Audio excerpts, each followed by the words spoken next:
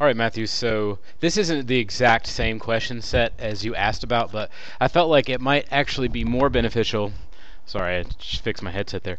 It might be more beneficial for you if I did problems that are like the ones that you're going to do, but not exactly. Because then you can practice the ones on your own, and then you can ask if they're right or whatever you want to do. But I just thought doing it a little bit practice-wise is a good idea. Anyway, the question says write the slope-intercept form of the equation uh, of the line through the given point with the given slope. Now, slope-intercept form, of course, is the old y equals mx plus b thing that you've probably seen before. In this class, at least. Um, so it has four components. It's got the x, which is your values that you input. It's got your y, which is your output. It's got your m, which is your slope. So it tells you how it goes up or down. And then your intercept. All components that are there. Now, this question we're going to start out with slope intercept and then just kind of use the information that we're given to work it up. So um, I'm given an x, I'm given a y, and I'm given a slope. So really the only thing I'm missing is uh, my intercept right here. So I'm going to make a sort of generic form of the equation over here on the left a little bit. Then I'm going to plug in, if you have enough of the information, you can just start plugging in stuff. So the x here is uh, 3, so where x was. These two are touching, so I'm going to say that's multiply. My m value that I've been given is negative 1. I need to find my b, that's what I'm looking for, but my y value is negative 1 as well. Then I'm just going to solve it. It's like solving a two-step equation, even though one of the steps is just combining like terms, or multiplying in this case. So negative 1 times 3 is, of course, negative 3. Um, get b by itself, that's the whole point of it. b is equal to positive 2. So now I know that uh, I have a equation that I can work with. I have all the parts that I need. So I'm going to tell the story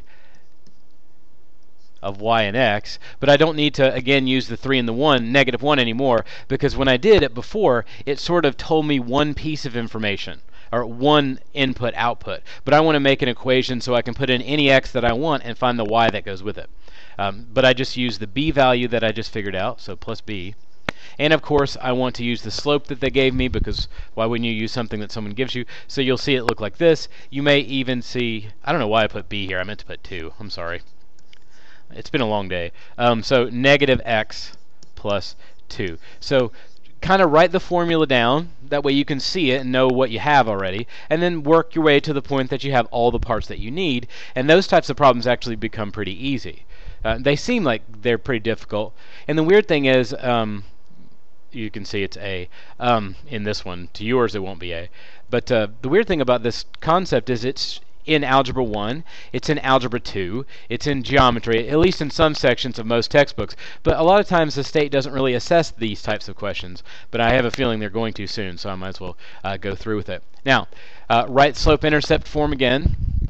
I'm going to sort of change over to this aqua-ish color if it'll let me do that.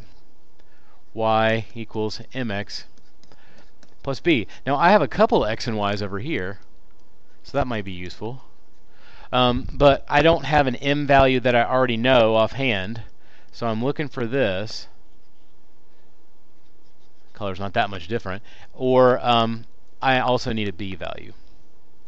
So what I'm going to do to find each of these things, uh, the m stuff I'm going to, or my slope anyway, I'm going to use the slope formula. So that would be this whole thing. There's a formulas page I've given out before. It's pretty important. I might put a link to it on the front page. Anyway, y of 2 minus y of 1 over x of 2 minus x of 1. These numbers just represent uh, their order really. They're just labels. They don't mean anything mathematically. If you see the number on the bottom, that's called subscript. It doesn't mean anything specific. So anyway, y sub 2 here would be negative 5 minus y sub 1, which is 2. And by the way, if this happened to be a negative number right here, you would do minus negative 2, just FYI. X of 2, I'm going to do negative 3 minus x of 1, which is 0. I end up getting negative 7 over negative 3, which is 7 thirds. So there's my m value. I'm halfway there. I have the m that I need. Now I need to find my b value. I'm going to change colors for this. And we're going to do it the same way we did on the last problem. My m value is 7 thirds. And the cool thing about this one is you could pick any, uh, either one of the two uh, points that you want. You can choose the negative 3 and negative 5, or you can choose the 0 and the 2. I'm going to choose the 0 and the 2 because it's way easier, but that's just me, because it's got the 0. And my y value of 2. Now, 7 thirds times 0 is 0.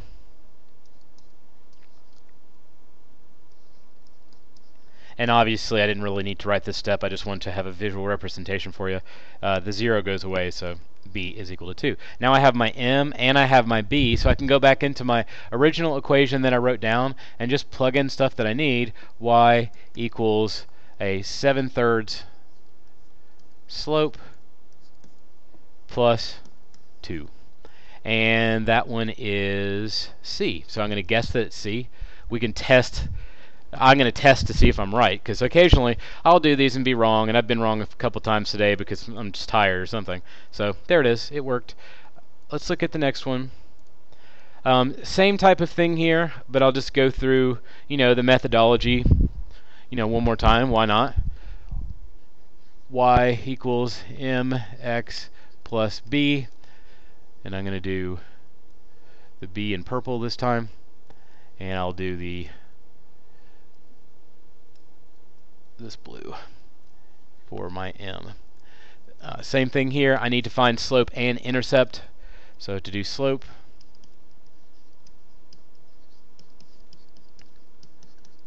the more you write down on these, generally the better it goes.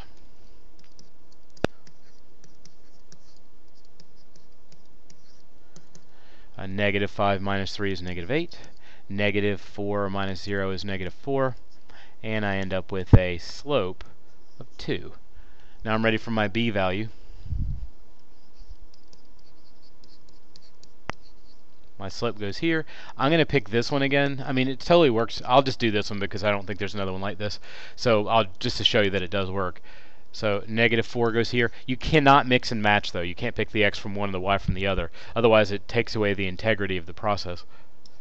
Not like emotional integrity. I mean, like it literally stops working. It doesn't work anymore. So negative 4 times 2 is negative 8.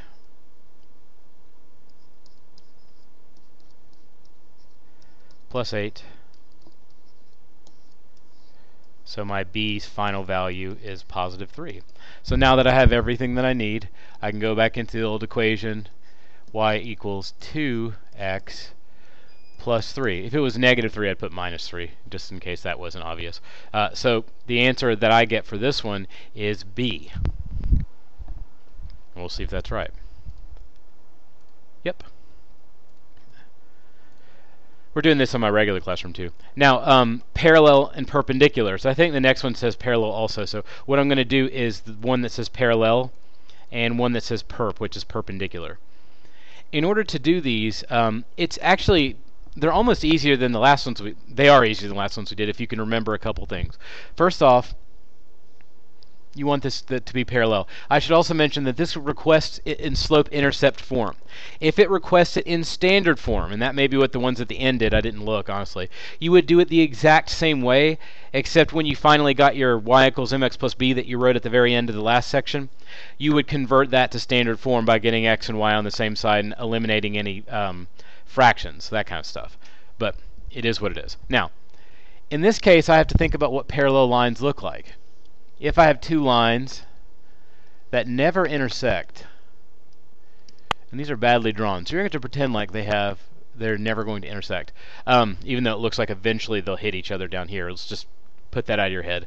It, um, the idea is they never intersect, which means they have to go up and over by the same amount every time. So the idea of parallel is that they have the same slope. That's the worst slope written I've done in a very long time. I should go back to this. I'm good at this aesthetic. So same slope. That's important. Uh, if it's perpendicular, we'll talk about that in a minute. But anytime you see through a line and parallel to, the nice thing for you is that you can just go ahead and circle whatever the slope is.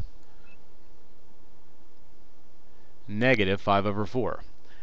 So to get my answer, I'm going to start out with my equation, of course. And you'll notice that I have some an x that I can use. I have a y I can use. They're right here.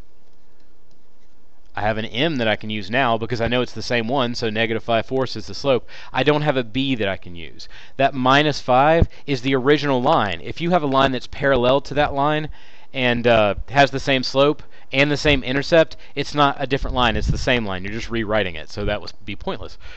So what we're going to do is look for b. So I'm going to take my x value of 4, my slope value of negative 5 fourths, and my y value of negative 1. And we're going to go fishing for b's, even though I don't think you fish for b's. Mm, it's kind of irrelevant. Negative 5 fourths times 4 is negative 5. I know this because I know I remember that 4 over 1 is the fraction, and then the 4's one's on top, one's on the bottom, so they cancel. I'm not making up any sort of brilliant move there. It's just that's it saves you time. So I end up with minus 5. B is equal to 4. Now all I have to do is go back in to my original setup one more time. y is equal to, I want the same slope, so negative 5 over 4, x, and then the b value down here is positive 4, so plus 4. So I'm going to say that the answer is b. In fact, you could have done that entire problem just by saying, oh, it's parallel, they have the same slope, because it's the only one that in front of its x has a negative 5 fourths. Save yourself a bunch of time there. You've just been like, oh, it's b. There's another parallel one, use the same slope. Now, on the other side of it, um, 23, I know you asked about 22, but this is pretty much the same thing. Um, it's perpendicular. That's what PERP means. Right here.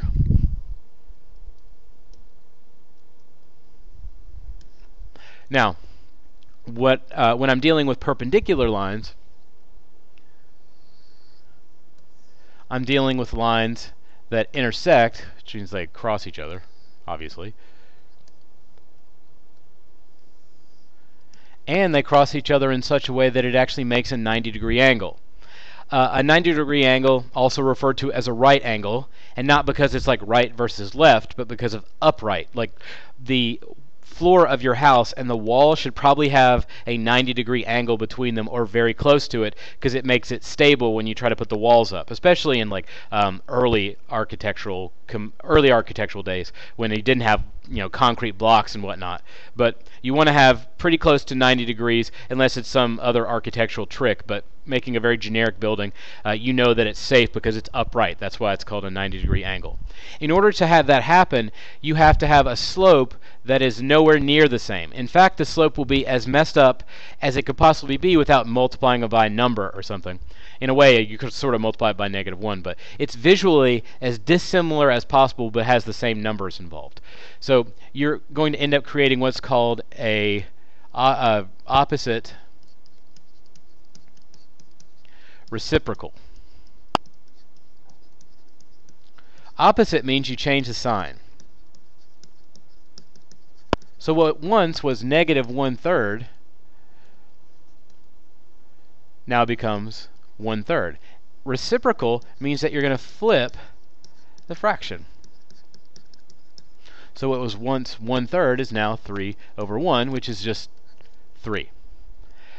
Uh, the reality is if you have an original slope of 4, you're going to flip it over, but you don't see that there's a 1 under there, but there is, because 4 divided by 1 is 4.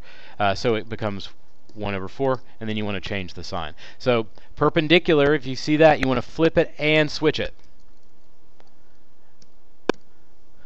Now, the math that I did, so my new slope, my m value, we figured out, was 3. Now that I have that, it works exactly the same way as the ones we were doing before. y equals mx plus b. Um, my slope, of course, is 3. My x value is negative 1. My y value is 2. I'm getting these from the point, by the way, in case that wasn't clear. And I need to find my b value still. I don't have it. I don't want to use minus 5 because it'd be the same line, pretty much. Negative 3, or 3 times negative 1 is negative 3. I was trying to say the answer before the question. Uh, I'm trying to get b by itself, so I add 3 to both sides. b equals 5.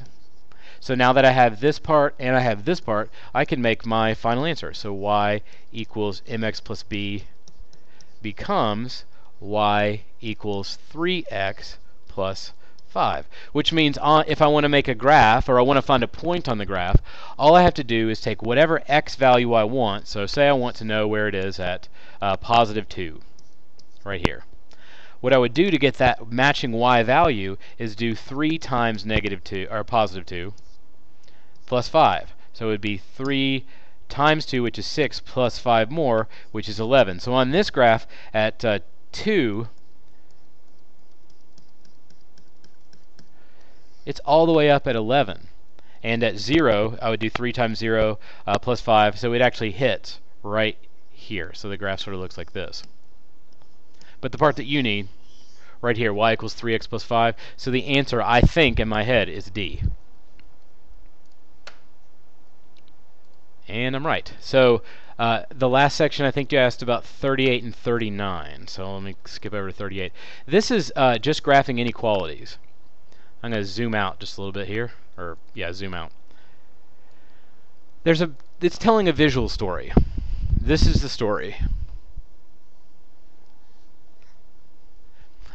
When I draw a graph, what I'm doing is telling a story about where y's exist when I have specific x values. In this case specifically, I'm not just saying that y values are you have a one-to-one -one match. I'm saying anything past a certain number works. So uh, you should start by looking at whether there is a line underneath your less than greater than sign. If you have this, it means that your answer is going to be a solid line. If you have this, it means it's going to be dotted. The reason, uh, say I wanted to know where it would be at um, x equals 0. So I want to go on the graph here, and I want to know where is the y value if I lock the x in so it doesn't move anywhere over through here. So all I need to do is plug in an x value of 0. Well, this times this is 0, so I end up with y is less than or equal to 1. So I can say that right at 1, that's where my dot is. However, the y value doesn't just include that 1, it also includes every number underneath 1, so less than 1, because it says y is less than or equal to. So it also would be here, and here, and here, and here, and here, and here, and here, and here, on and on and on. If that goes on with every dot, then it really means I can just start shading to get my answer. That's kind of the story that we're trying to tell. If there is a uh, if there's no greater than equal to sign, like it just says this, that means it's every number less than 1. So instead of saying that I make a dot that's hard and fast right there, I'm going to do something where, kind of like when we did inequalities, we sort of made a circle, and then we'd shade down.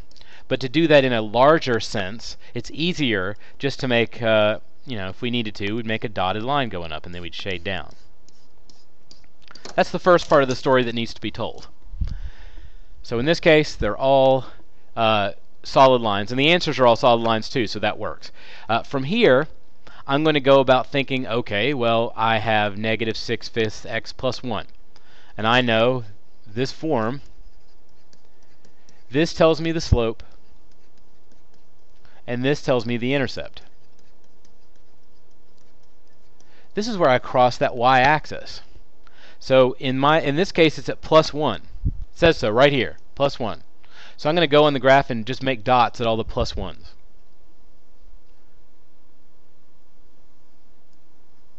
Well, only one of the graphs really crosses at that point, which is right here. So I can guess, just based on that information, that it's probably C. I also get further backing, because when I go to look for my M value of negative 6 over 5, I know it's negative, which means it goes down left to right. So this one has to be out because it's going up left to right. This one's going down, this one's going down, this one's going down. I know specifically that it's going negative 6 down, as it moves left to right anyway, and it's going 5 to the right. Or, I mean, theoretically, it could go 6 up and 5 left, but and it's the same thing. So what I do occasionally is I'll pick a couple points that cross right on those lines. So maybe right here and right here looks pretty good. You, you want to get ones on the edges of the boxes if at all possible.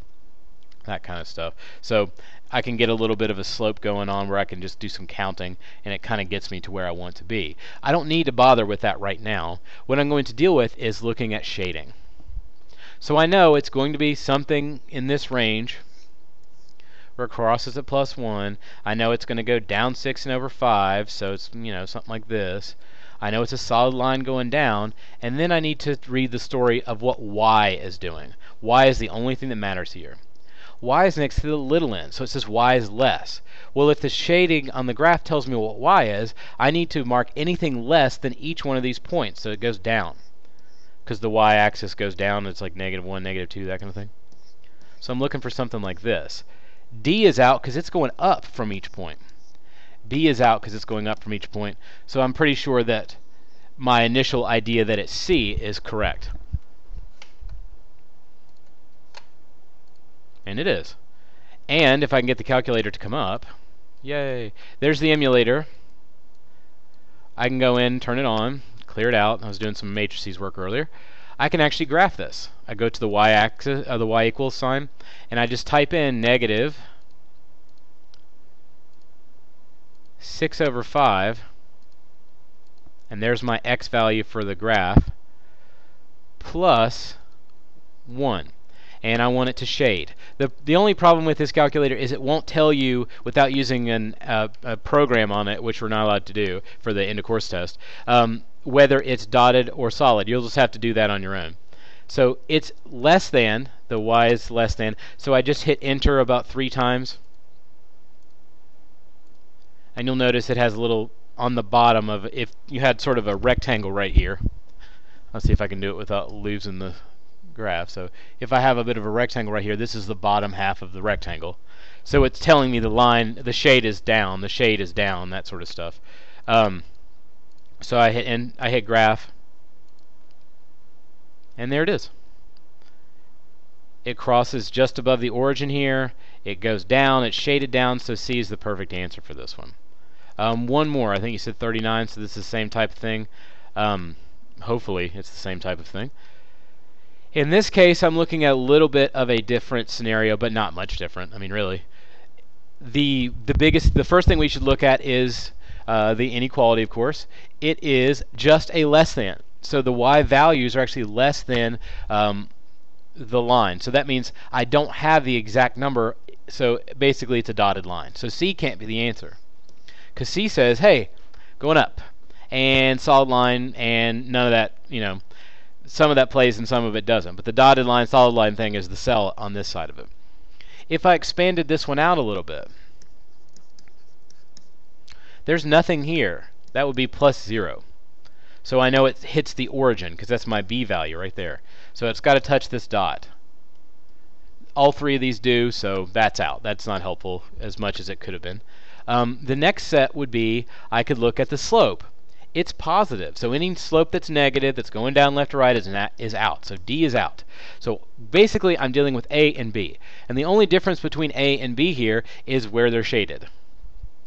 The story being told is Y is less than, because Y is next to the little end. So I want to shade down. This is the only one that's shading down.